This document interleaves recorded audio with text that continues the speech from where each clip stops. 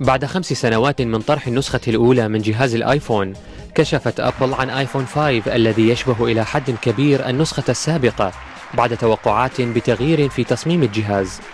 آيفون 5 سيعمل بنظام iOS 6 الذي سيتم توفيره أيضا لنسخ 3GS و4 و4S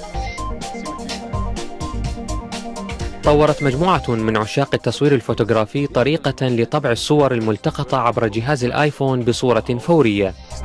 الجهاز يحاكي كاميرات البولارويد ويتم تركيب جهاز الآيفون فيه فيقوم بأخذ الصورة وطبعها على ورق خاص خلال ثوان. ويتوقع أن يطرح هذا الجهاز في الأسواق في الربع الأول من السنة القادمة وبسعر 300 دولار أمريكي.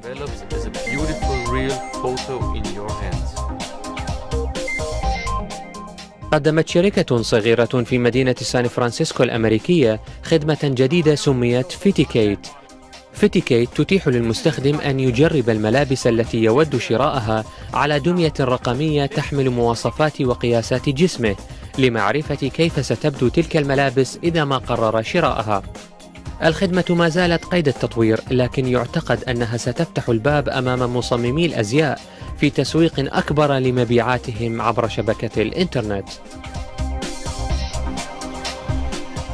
الفادوغ كلب آلي من اختراع القوات المسلحة الأمريكية يتلقى هذا الروبوت التعليمات عبر شاشة لمس ويتمكن من الوقوف منتصبا ويستطيع قطع مسافة 30 كيلومترا وحمل أكثر من 180 كيلوغراما من دون فترة استراحة. حيدر الطالبي بي بي سي.